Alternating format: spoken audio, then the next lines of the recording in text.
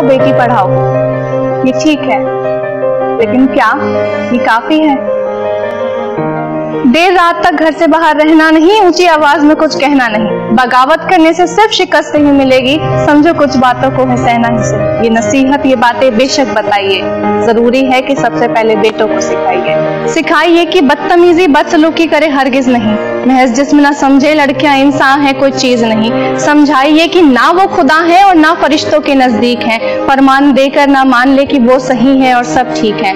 जिसे चाहो हासिल होगा, ऐसा ख्वाब ना देखें। जिसे चाहो हासिल होगा, ऐसा ख्वाब ना देखे। इनकार को मर्ज़ी समझकर संभल जाए, फिर तेजाब ना फेंके।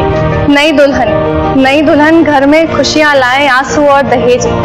नई दुल्हन घर में खुशियाँ लाए आँसू और दहेज नहीं, वो जान ले कि औरत की जगह सिर्फ़ घर की रसोई और सेज है। बेटों को समझाए कि ये ज़रूरी नहीं कि वो हर बार सवाल बन जाए। वो हौसला बने बेटियों का और उनकी ढाल बन जाए।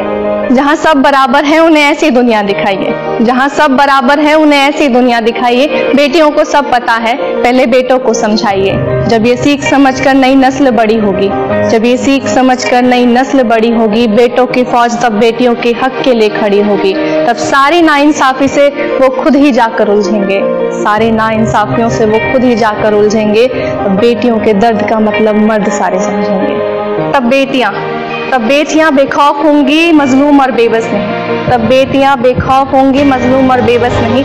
बेटों की आँखों में सम्मान होगा, जिद और हवस नहीं। माना कि नए दौर के ख्यालों में भी ढलना होगा।